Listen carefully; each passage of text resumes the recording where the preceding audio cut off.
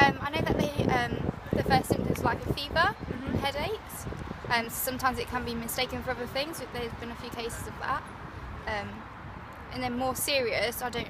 I've been told that like you bleed from like everywhere, like your eyes Yeah, and stuff, yeah, which sounds horrendous. Yeah, yeah. So, um, would you know what to do if uh, a friend or someone contracted Ebola?